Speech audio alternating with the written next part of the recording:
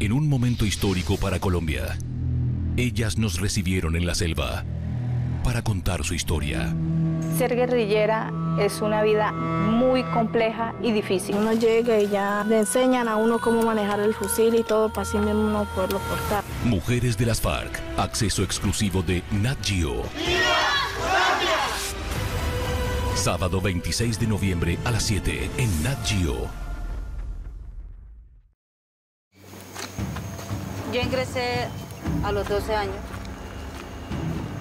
Ser guerrillera es una vida muy compleja y difícil. No pude ir al entierro de mi padre. Cuando me avisaron ya hacía dos años había fallecido. Cargamos todo por igual, tanto los guerrilleros como las guerrilleras. Somos luchadoras iguales que los hombres. Cuando vamos al campo de batalla nos toca enfrentarnos es con puros hombres. Imagínese uno amamantando un bebé y que suene plomo en el puesto de guardia. Estámonos aquí, entrincherémonos aquí, cubrámonos. Yo estoy de servicio de guardia, de caso de un ataque enemigo. Ahí viene plomo para del lado y lado. Caen las bombas y corriendo para ir para acá con una barriga tan grande.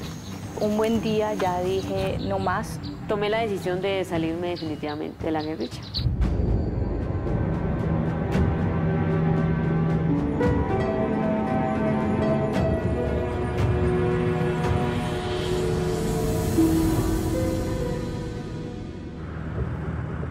En medio de zonas selváticas y montañosas de difícil acceso, viven por lo menos 5.700 guerrilleros de las Fuerzas Armadas Revolucionarias de Colombia, FARC.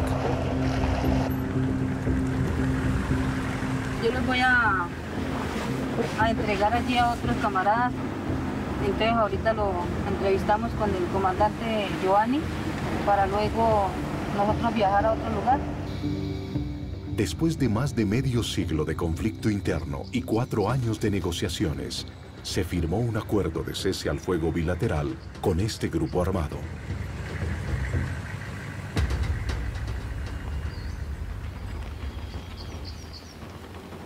Yo ingresé a la guerrilla a los 12 años, desde niña. He conocido la guerrilla y siempre el anhelo mío era estar acá. De pronto le dicen a uno, ven, ¿usted por qué ingresó? ¿Usted por qué llegó a la guerrilla y dejó a sus padres, que son los más queridos que uno tiene en la vida, y los dejó botados por venirse para acá, para el monte?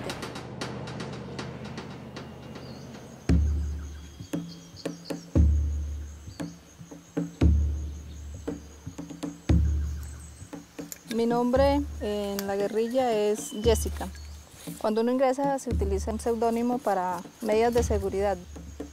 Ingresé muy joven a la organización, ingresé de 11 años. En mi casa pues no tuve estudio, tampoco pues me da pena decirlo, ¿no? Porque pues yo tampoco culpo a, a mis padres porque ellos no tenían cómo dármelo. Ellos son muy pobres y realmente pues no, no tengo por qué culparlos, ¿sí?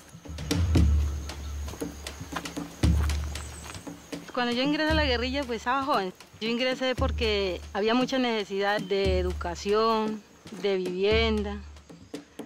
Nos faltaba mucha cosa. Entonces ingresé porque escuchaba de que uno venía a aportar un arma aquí para luchar por el pueblo. Yo ingresé a la guerrilla o tomé la decisión de ingresar a la guerrilla pues porque soy hija de dos revolucionarios y nací dentro de la guerrilla y pues desde muy chiquita me infundaron esos ideales y por eso estoy acá.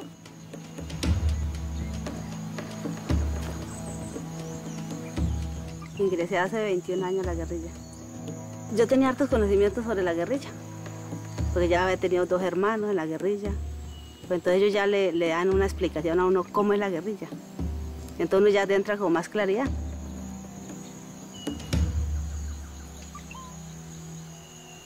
Hace cuatro años que estoy en las filas de la FARC. Yo ingresé a la guerrilla pues porque realmente esto lucha por algo justo, ¿cierto? Entonces por eso fueron los motivos en los cuales yo ingresé. Lo más duro que me haya pasado a mí aquí en las filas fue un caso de que cuando me avisaron sobre la muerte de mi padre. No pude ir al entierro por motivos de que cuando me avisaron ya hacía dos años había fallecido. Realmente uno piensa de muchas formas, pero toca echar para adelante. porque ya decidí de que me vine para la FARC, tengo que seguir acá en la FARC. Se habla tanto de reclutamiento forzado como no forzado. Hubo reclutamiento forzado porque básicamente le exigían a esas familias uno o dos personas, niños, jóvenes de la familia para engrosar las filas de las FARC. Ingresé a la edad de los 13 años, duré 8 años en las filas de la organización. Vivía en el campo, en el departamento del Caquetá, entonces era como una zona muy alejada de la ciudad, de todo. La guerrilla estaba como de moda, entonces uno veía quizá la guerrilla como una opción de vida. Muy rápido fui enviada al curso básico, que es el que realizan todos los guerrilleros después de ingresar que es como, como el entrenamiento militar donde ya realmente uno se capacita para ser un guerrillero. Ingresé a las FARC a los 10 años y duré 6 años y salí a los 16. Pues ingresé porque yo me crié con ellos, donde en el pueblo donde yo eh, nací era de pura guerrilla, no había nada más. Entonces hacían parte como de mi familia y yo los consideraba de, de mi familia. Entonces, al estar con ellos era normal, pues para mí y para otros niños del, del pueblo.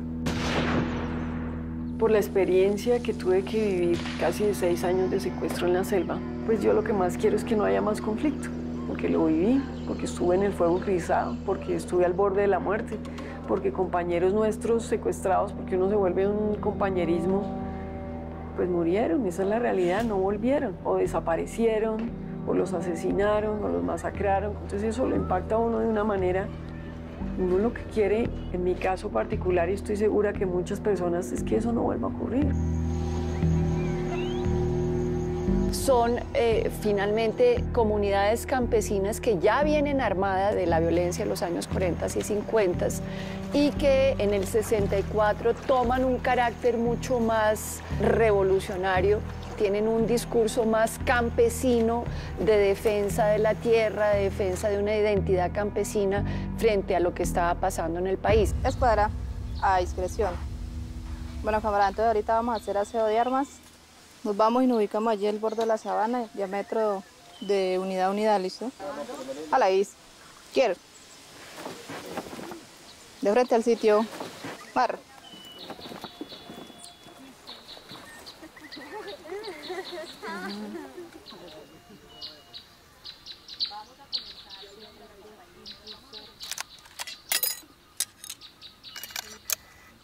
Cuando uno llega de la civil, pasa a ser uno guerrillero, pues es complicado, ¿cierto? Porque pues uno llega y ya le enseñan a uno cómo manejar el fusil y todo para así mismo uno poderlo portar. Los entrenamientos con armas en la guerrilla de las FARC, los primeros que tuve, pues fue con fusiles de palo. Entonces los mismos guerrilleros elaboran su fusil de palo, que obviamente lo tienen que cuidar y lo tienen que llevar a todo lado como el arma real. O sea, uno todo el tiempo tiene que estar con el fusil de palo en el entrenamiento, en el curso básico. Para mí será como el juguete de niña. Igual manera, antes de ingresar a las FARC tampoco tuve juguetes, entonces pues tampoco. Era la gran cosa para mí ponerme a jugar porque no, no lo había hecho nunca. Entonces ya como que dejas a un lado el fusil de palo y ya, ya, ya toca el, el fusil real, ¿no? Cuando ya le dan a uno el fusil real, uno se siente ya guerrillero. Yo lo que veía es que ellos ni para ir al baño se quitaban los rifles o los machetes o lo que tuvieran. O sea, es una dependencia, sí, es un tema mental del armamento, que eso es lo que les da el poder. Mi fusil, que es un AR-15, la llamo siempre Cataleya. Siempre que, por ejemplo, pues voy a acostarme, entonces, bueno, Cataleya, usted se queda acá y yo me voy a acostar, entonces la cuelgo ahí en la, en la y Cataleya está ahí pendiente para cuando yo la necesite. Es un arma que para todos lados lo lleva uno. Es como quien dice, más que una amiga o más que un hermano, ¿cierto? Es más que una amiga porque es la que siempre, en todo sentido, nos protege. Entonces, por eso para nosotros es algo muy apreciado, muy fundamental. Nosotros por eso debemos de cuidarla, eh, mantenerle el aseo constante porque en caso de algún enfrentamiento ellas son las que nos van a defender. Cuando uno llega a estos campamentos, pues la verdad es que el impacto es verlas a ellas también, porque son mujeres no solo muy corpulentas, sino también muy fuertes en su manera física, en su tono de hablar. Ellas están enseñadas a su, a su vida militar, porque realmente sí tienen esa formación, tienen su voz de mando, tienen esa capacidad física, no solo para el armamento, sino para hacer las tareas inherentes que igual son muy fuertes.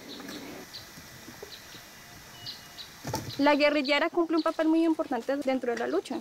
Somos luchadoras iguales que los hombres y hacemos parte de la organización como igualmente ellos. Aquí pues cumplimos todo lo que hace el hombre. Unas cumplen unas funciones y otras otras. ¿Usted tiene, usted tiene pala?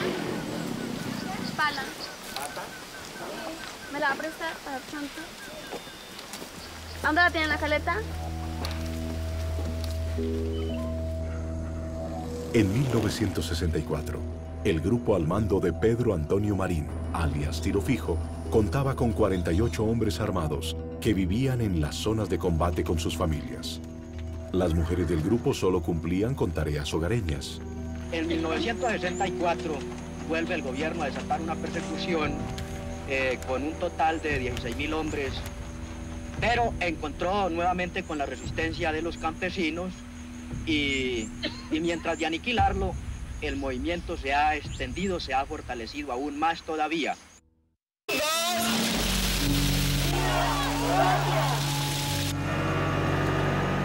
En 1986, las FARC ya tenían en sus filas a 3.600 guerrilleros y se calcula que de cada 30 combatientes, dos eran mujeres.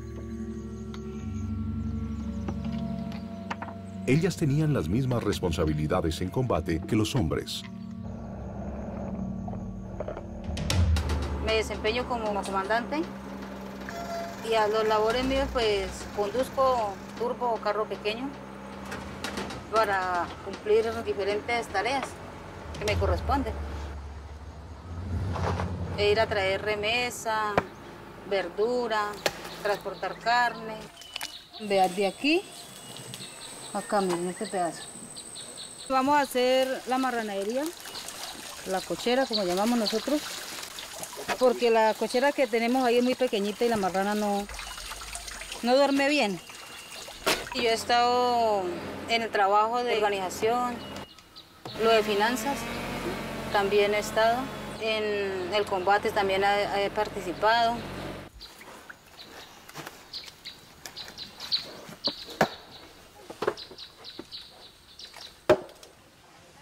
Ser guerrillera es una vida muy compleja y difícil, porque obviamente tú irte al monte, tú irte lejos del seno de tu familia, tan pequeño, obviamente eso trae una afectación psicológica porque uno en todo momento está como que, bueno, ¿y mi familia qué? ¿Qué pasará con ellos? No sé nada. Entonces, obviamente eso no es bueno, porque si tú no ves a tu familia, si tú no ves a esos seres que tú quieres, pues obviamente no eres quizá la misma persona. Casi la mitad de los integrantes de esta guerrilla fueron reclutados durante su infancia. El 40% de su tropa son mujeres, pero ninguna de ellas hace parte del secretariado de las FARC, las cabezas visibles del grupo armado. Es la guerrilla con más mujeres en sus filas. Es una guerrilla que realmente incorporó masivamente y no excepcionalmente a las mujeres a la lucha y al combate. Al frente las camaradas.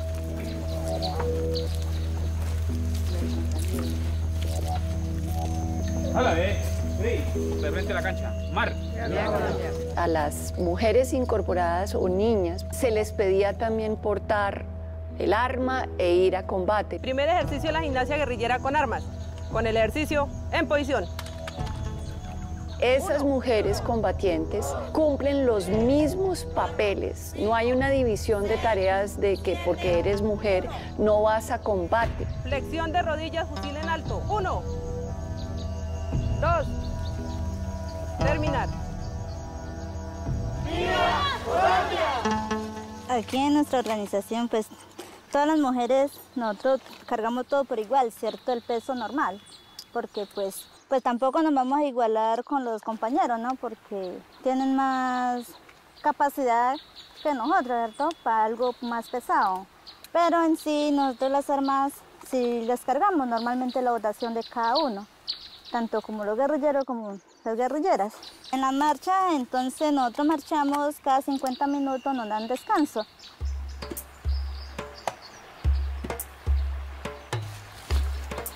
Bueno, ahora lo que vamos a hacer es soltar la olla para preparar el agua para todos.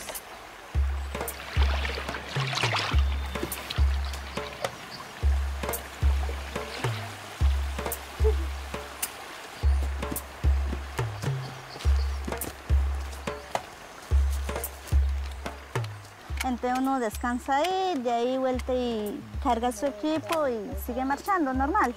Entonces no es que digamos que tampoco no se va a cansar tanto porque en 50 minutos usted cae y no se cansa. A mí personalmente me gustaba más que me mandaran los hombres, porque las mujeres entre mujeres son muy, muy machistas, son muy bravas. Eso es dependiendo como el carácter del comandante y la metodología que tiene para dirigir la tropa. El hombre es como más neutro y como que busca como que todos hagan lo mismo. En cambio la mujer no, la mujer busca que la mujer demuestre de que es más valiente que los hombres. Por eso a veces tiramos más duro a la mujer. A mí me gustaba mejor que el comandante fuera hombre. Novedades especiales no se han presentado, las consignas son las mismas. Puede hacer relevo, camarada Tamaris. Bueno, me espera cada uno en el puesto.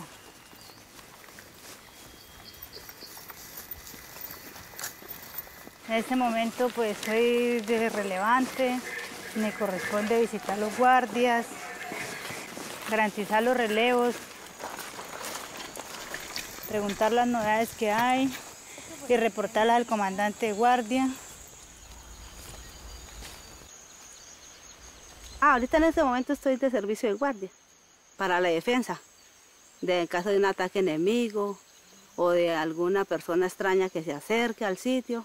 Pues entonces uno está cubriendo para que los otros compañeros estén estudiando, o estén trabajando, estén haciendo las diferentes misiones que hay en el campamento. Aquí le enseñan a uno a diferenciar. Desde que uno ingresa le comienzan a explicar. Cuando escucha un avión con un ruido así, así, que, uh, bueno, le van enseñando el ruido. Entonces de inmediatamente si es de noche llama porque puede ser una borbandera o un- la exploradora que viene a dar vueltas. Mi flanco de cubrir es así, lo que miro yo así.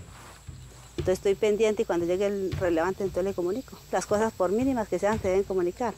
Que pasó un tigre, que pasó un gurre, que pasó una lapa, que pasó un venado, o que pasó un avión a tal ruta, o que escuchó un ruido de un avión, de un avión extraño. Todo lo que, uno escuche y mire, se comunica.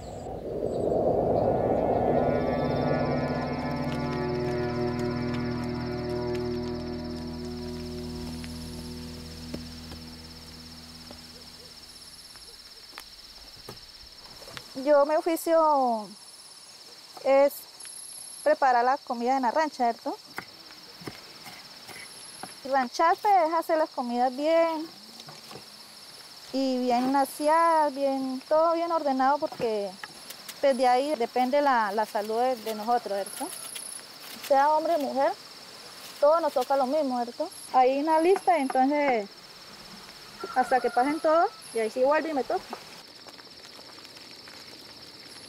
cuando me toca trabajar y que vayan hartos hombres en el grupo que yo voy a trabajar. Eso me gusta trabajar así. Entonces a mí me gustan los oficios fuertes, ¿cierto? Los que más realizan los hombres. Me gusta trabajar en, por ejemplo, boleando machete, o cargando madera.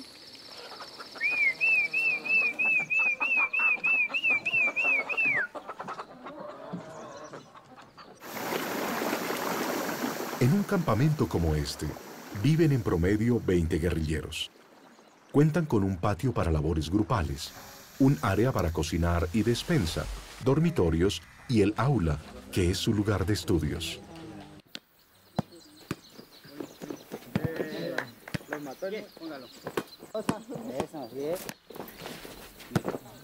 Los guerrilleros no reciben ninguna retribución económica por su lucha. Solo se les da tres comidas al día, dos uniformes, un par de botas, un rifle y un machete. Se calcula que existen más de 60 unidades militares de las FARC a lo largo del territorio colombiano.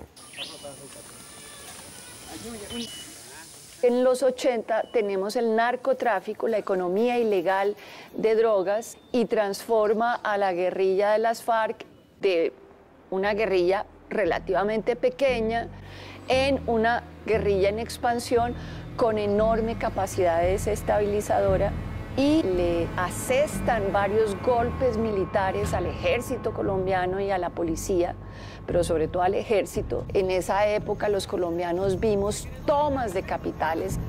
Con amplia presencia al sur del país, sobre todo en zonas fronterizas, las FARC perpetraron más de 800 ataques y tomas a municipios.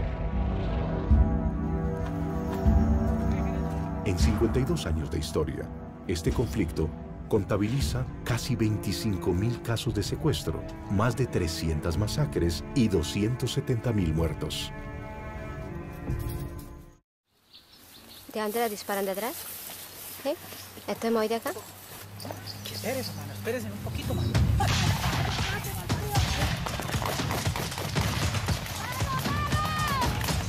Cuando vamos al campo de batalla, nos toca enfrentarnos es con puros hombres.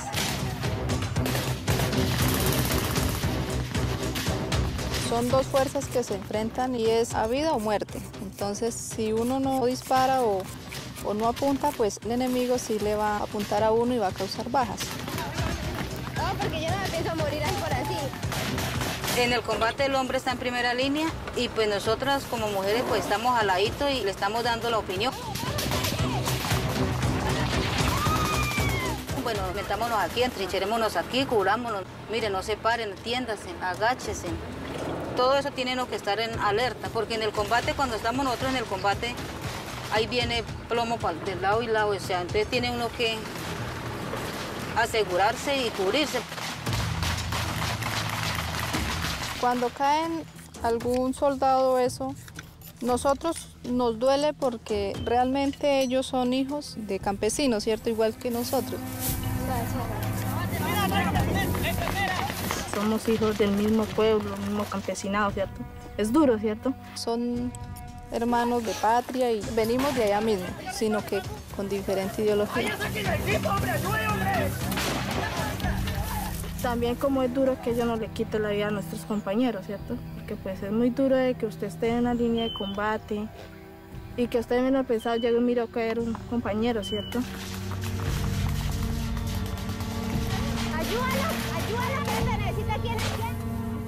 Compañeros, amigos que quedan heridos o que hay veces, sí, los, los, los matan y uno no puede sacarlos, sí. Porque hay veces que acosan mucho y uno le toca salir, ¿cierto? Y no puede sacarlo.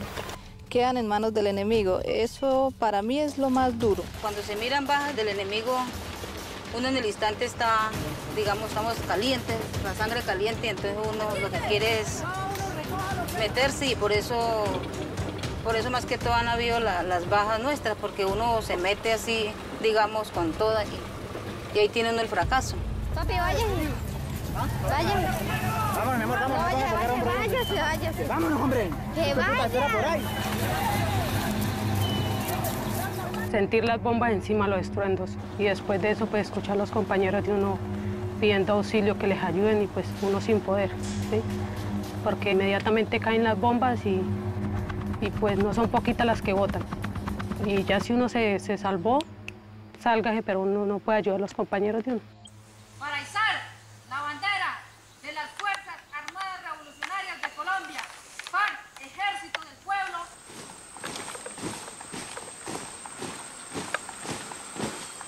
¡Descanse! La doctrina de las FARC se basa en una ideología social comunista, donde todas las personas deben obviamente adaptar eso dentro de la organización a su modelo de vida y donde todos los guerrilleros obviamente deben cumplir un reglamento de régimen interno y unas normas internas de comando para poder llegar al objetivo que se tiene trazado, que en este caso pues era la toma del poder por la vía armada, ¿no? En las FARC las niñas y mujeres reciben entrenamiento militar y reciben también entrenamiento político. Recibían horas de clase, pero también horas de discusión política y de conversación política cuando no estaban combatiendo. Permitir que todo el mundo participe, se organice y tome decisiones sobre el país. Nietos para que vivan mejor.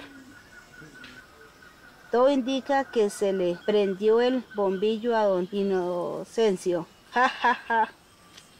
Organización de masas, cómo se habla cuando uno sale a la población, cómo se tiene que expresar, el respeto que tiene que haber, charlas políticas, el curso básico que uno hace cuando ingresa. Las FARC efectivamente incorporaron a niñas y mujeres y muchas de ellas vivieron transformaciones, si se quiere, que las empoderaron por el discurso igualitario que ellas vivieron dentro de esa guerrilla.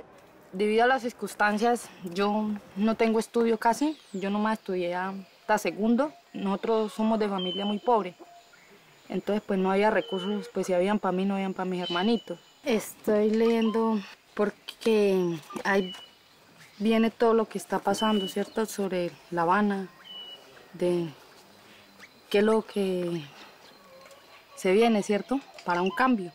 Nosotras podemos hacer, por ejemplo, hay en partes que son presidentas, alcaldesas, esto, de contadora, ¿cierto?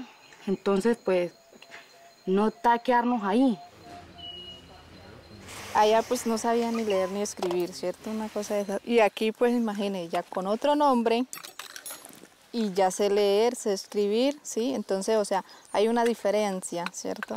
E inclusive una vez yo hablaba con mi mamá y ella me decía, pero usted ya es otra, usted es otra mujer, usted habla diferente, usted... Ha... Entonces me decía que, que qué bueno y que qué mejor camino había cogido. Cuando a ti te instruyen desde tan pequeño, pues sencillamente tú como que dices, esto es lo mejor que estoy haciendo. Mientras está uno dentro de la organización, uno dice, no, fue la mejor vida que pude elegir. Realmente tú quizá diferencias eso cuando ya creces y miras que hay otra forma de vida, que hay otras cosas mejores y que uno quizás se ha perdido de todo eso. Tuve varias opciones de capacitarme en muchas cosas dentro de la organización.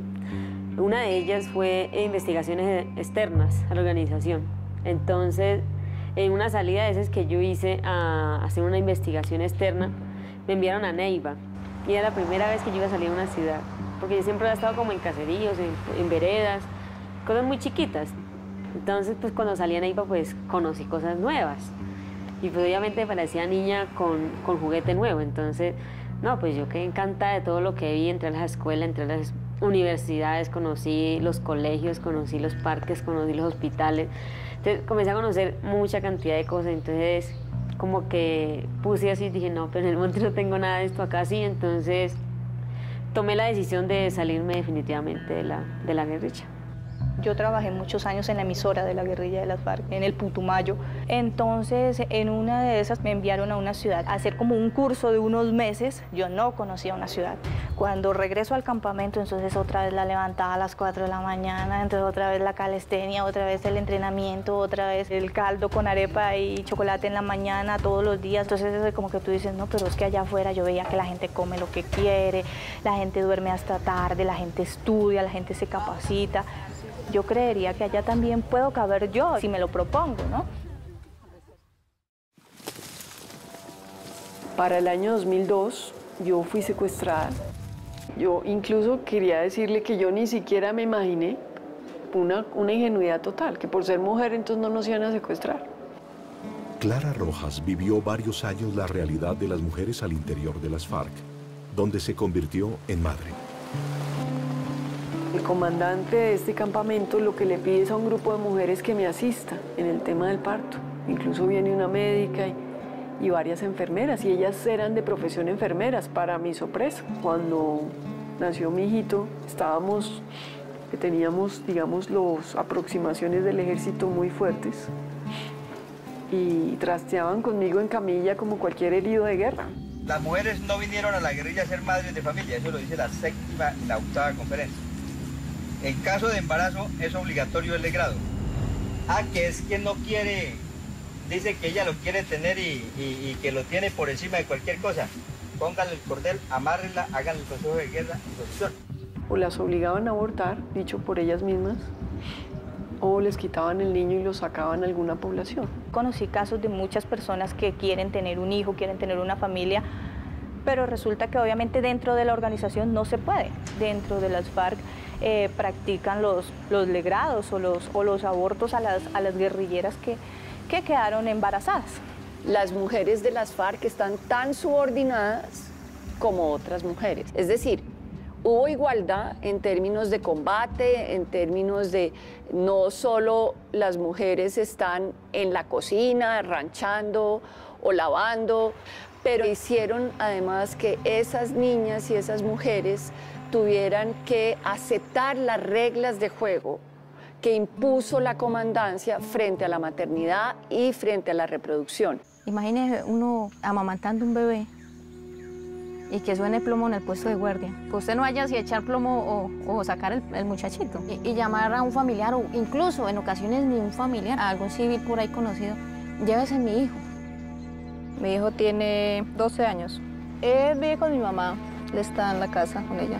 Los hijos de las guerrilleras anteriormente los buscaban mucho, ¿sí? Entonces no se le decía la propia verdad, pero ahora ya que está grande, yo he hablado con él y él está muy contento con tener una mamá que es guerrillera y, y, pues yo siempre le he dicho a él que, que todo lo que yo he hecho es luchar por el pueblo. Voy a cumplir 15 años de estar en una guerrilla. Cumplí cuatro meses de embarazo. Quedé en embarazo y pues planteé simplemente al organismo superior y, y pues ellos son los que dicen sí. Y pues ahorita que, que va a haber un, acuerdo, pues de pronto se presten más las condiciones para, para uno poderlo tener, porque no es lo mismo al, al haber un que ya estemos en, en, en paz a estar en una mata que, guerra, que bombas, que plomos, ¿sí me entiende? Corriendo para ir para acá con una barriga tan grande. Hace ocho años estoy en la guerrilla. Me quedé en embarazo y pues no me di cuenta de estar en embarazo y no me di cuenta ya los, cuando tenía cinco meses porque ya se me miraba la barriga. Me llevaron a la revisión y pues no quería tenerlo, pero sí tenerlo porque de todas maneras no tiene la culpa, ¿cierto? Y, y los camaradas me dieron el permiso de tenerlo.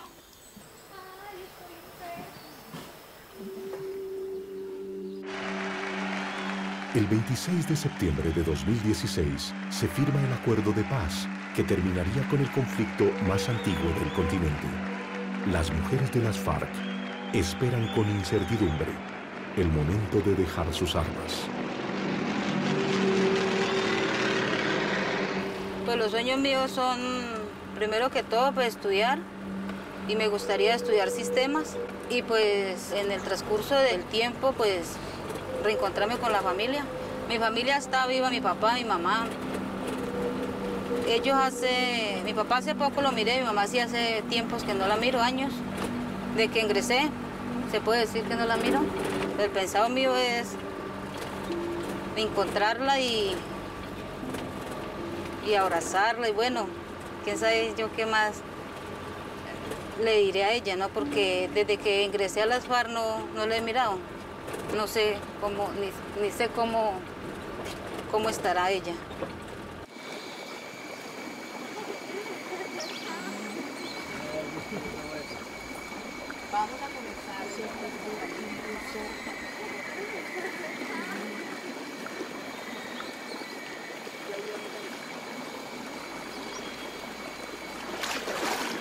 Pues dentro de mí yo tengo muchos sueños, ¿cierto? Pero pues el sueño más grande que yo tengo es ir a La Habana a estudiar medicina. Me gusta mucho la medicina y quisiera tener esa oportunidad de ir a estudiar a La Habana. Yo en el amor pues he sido como un poco de malas porque pues esta guerra que, que hemos estado enfrentando casualmente pues siempre los compañeros sentimentales que yo he tenido pues han caído en, en- el combate, ¿sí? Entonces pues Yo, yo lo que más eh, rogaría, ¿sí? Que bueno, ahorita que se, se está dando este proceso de paz, que, que se acabe la guerra, entonces que ya no haya más guerra, ¿sí? Entonces, ojalá pues ahorita el, compañero que, que tengo, entonces que, bueno, vivamos, compartamos el, el tiempo que, que podamos, ¿sí?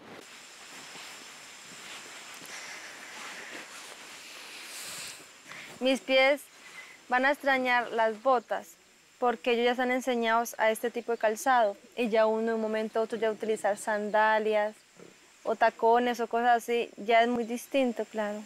Después de que haya una entrega de las armas, se firme un acuerdo, siempre he pensado en que me gustaría, es un deseo más que todo, ir a visitar a mi padre, al menos llevarle una flor o algo, ¿sí me entiende? Eso siempre lo he tenido en, en mi mente. Siente una alegría porque hay un cambio, porque ya podemos ir a irnos para nuestra vida civil, ya uno no va a tener el temor de que lleguen y lo, lo masacren por ahí o lo desplacen. Todo eso es bonito, ¿sí pilla? Y pues seguir luchando. Ya no es con las armas, sino con, con lo que nos quedó de esto, ya. De portar las armas, ¿cierto?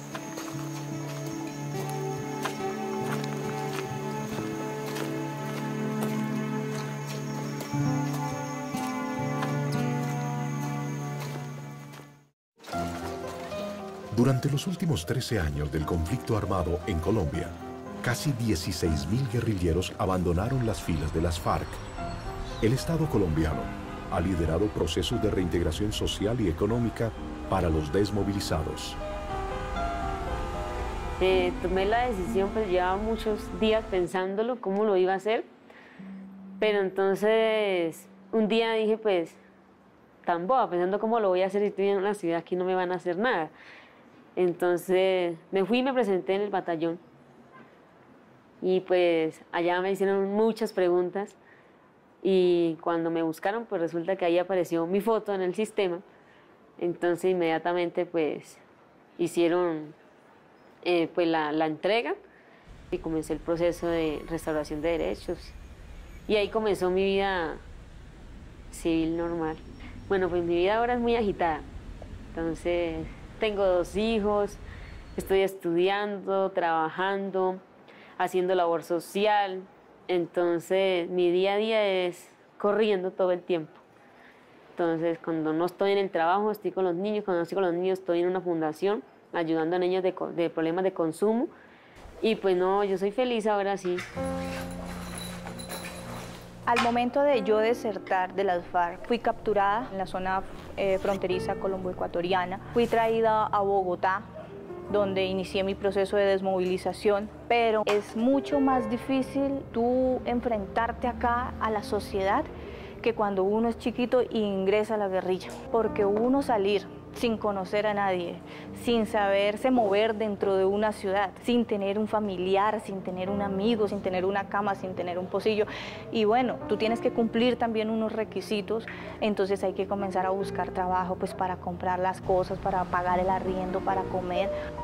Entonces fue un inicio muy difícil porque pues obviamente había que trabajar en lo que saliera y en las noches estudiaba el bachillerato porque cuando yo ingreso a la guerrilla pues solamente había cursado hasta quinto de primaria. Actualmente estudio Derecho, estoy en séptimo semestre con muchas dificultades, con muchas situaciones, pero vamos paso a paso.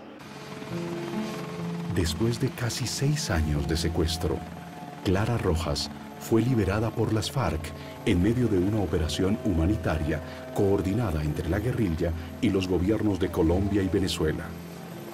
Cuando yo toqué otra vez el pie en la libertad, que fue en el helicóptero que me llevó a la libertad, o me trajo mejor a la libertad, dije, uy, qué rico que ya estoy en el helicóptero y ya veo la selva de lejos, sí, esto ya no es conmigo, qué delicia, ¿no? Pues de aquí para adelante todo es ganancia. Entonces, eh, pues por fortuna cuando me liberan, me voy a Estados Unidos a una playa y, y encuentro la libertad total, ¿no? Camino, nadie me conoce, me meto al mar, ando con los pies descalzos, una delicia. Y eso me permite reflexionar. ¿Y ahora cuál es el paso siguiente? y tomo conciencia que ahora tengo que rescatar es mi libertad de corazón, de alma y de espíritu. Yo no puedo seguir esclava ni secuestrada de mis emociones ni de lo que viví.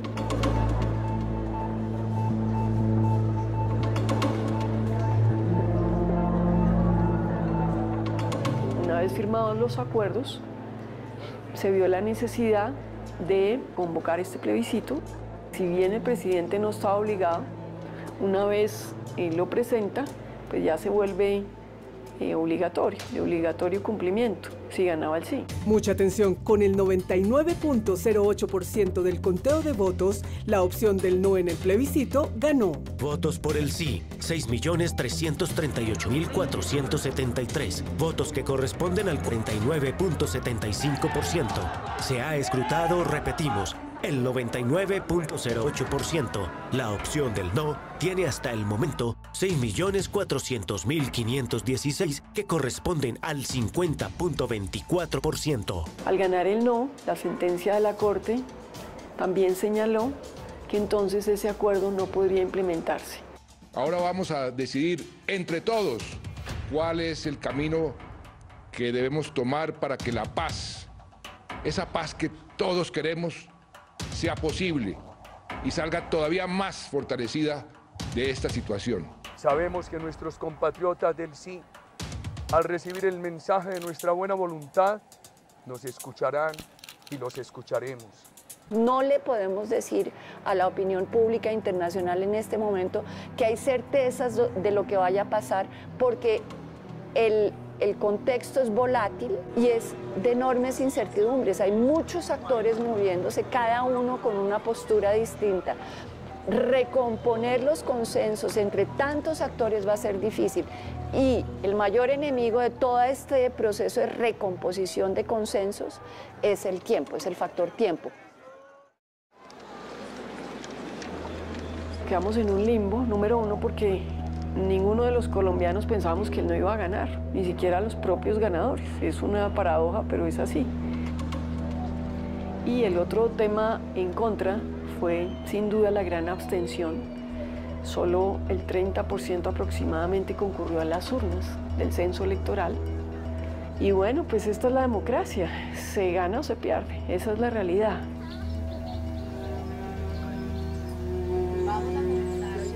Yo me he readaptar a mi vida.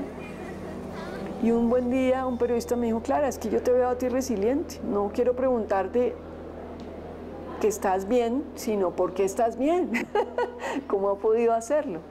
Pues yo diría que la clave es el perdón, ¿no? Es darle gracias a Dios que me dio esa fuerza para decir esas emociones que yo tengo, porque sí las tengo, sí las tuve porque soy ser humano, me duele todo, obvio, me da rabia, me da coraje, hubiera deseado en su momento que pagaran todos los años, pero eso no soluciona nada, o que me hubieran pedido perdón, eso no soluciona nada.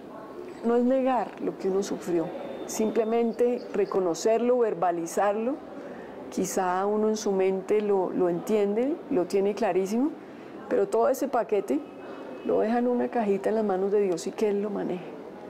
Y mire que me ha funcionado.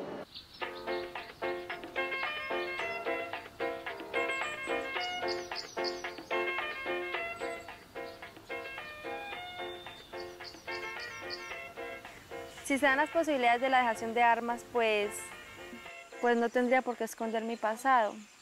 Porque si lo escondo sería arrepentirme de lo que hice, ¿sí me entiendes? O de lo que soy. Porque si soy guerrillera es porque me gusta, ¿no? Y, y si me hacen el feo ellas, pues les diría que, que soy una mujer igual que ellas. Y si estuve acá fue por circunstancia, no porque, ¿sí me entienden? No por hacerle la guerra a nadie, no, sino por cosas de la vida. Ahora mi futuro, después de haber dejado la guerrilla ya más de ocho años, es al lado de mi familia, estar con mi hijo, con el bebé que viene en camino, con mi esposo. Anhelo muy pronto culminar mi carrera para de pronto demostrar que las personas que hemos tenido una vida también difícil, también tenemos habilidades y capacidades y que podemos ser incluyentes dentro de esta sociedad. Lo que parecía ser el final de la historia armada, ahora es el comienzo de un nuevo capítulo. Pero la esperanza de paz sigue viva en el pueblo colombiano.